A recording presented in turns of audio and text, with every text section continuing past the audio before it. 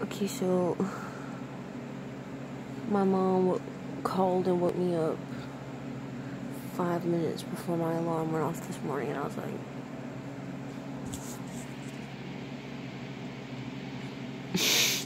I was so mad. I was like, because all night the dogs and the fucking critters and the fucking souls, every soul in my house was just like, and my brain was like, hey, you're just gonna focus on all of this instead of getting some rest. And I was like, okay. So, I woke up this morning, got to work, did my teas, and my cell bars are set up, and I was like, awesome possum. And my soup's on, and I was like, awesome possum. And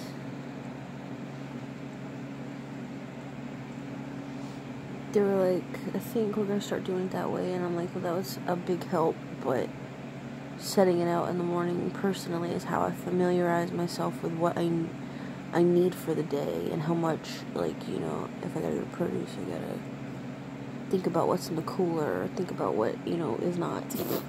So I'm like, when when other people set it up, and then sometimes they set it up funny and sometimes they take pans back to the kitchen and I forget what's going on and I'm like, okay. But work was awesome ish. It's Fish Friday, but it's pretty slow for Fish Friday, which was super awesome actually.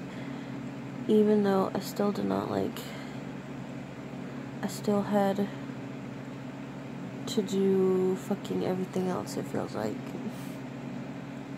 You know like for instance I did not have to fucking stay over 30 extra minutes to damn do the tray and take the chickens off and burp on the clock. No, I'm just kidding. Although that probably did happen once or twice. Um, whatever. Holly was in the deli about 10:30 to a little after 2, I think. And it was awesome. It was great. It was nice to have somebody to go to from across the, the, the kitchen. And um, we've been passing each other notes through, like, I write on Boar's Head slip papers, and they write on the receipt paper from the register. I'm like, oh my god, so fun. And dude Ryder was like, he came up to me, he was like, you being good, right? And I was like, of course I'm being good. My heart belongs to my wife only. What do you want from me? no, Ryder's a sweet pea. I love him to bits.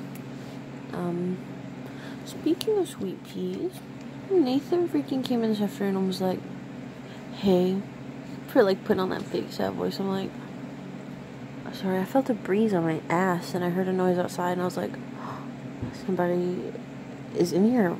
Anyway, he was like, hey. And I was like, what's the matter, baby? and he was like, you never ever freaking text me back. And I'm like, that is a lie.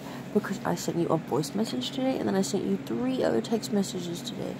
And he's like, well, then I guess you're just not going through because I'm not getting them. And I'm like, well, why is the world keeping us apart?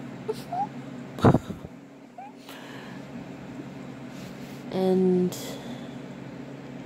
today, what else happened today? Mm, he also said something that I was just like, okay, homewrecker, but okay.